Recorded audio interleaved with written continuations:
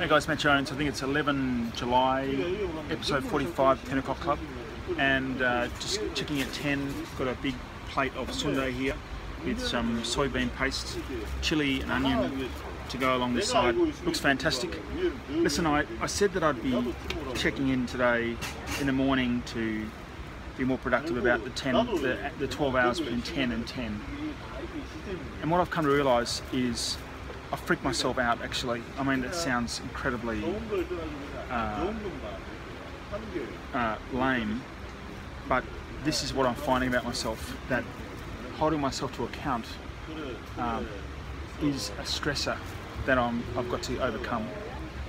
So it's a good thing. It's a good thing that I do this 10 o'clock club and I've got to do it routinely every day. So um, I'm going to enjoy this and uh, back tomorrow. Hope you're having a good day.